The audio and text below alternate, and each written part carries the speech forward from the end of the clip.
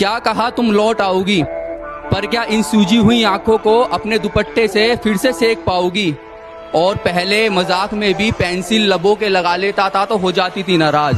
सच सच बताना भी ना तो मैं सिगरेट देख पाऊँगी। इतना अकेला हूँ मैं कि खुद ही खुद को सुलाने लगा।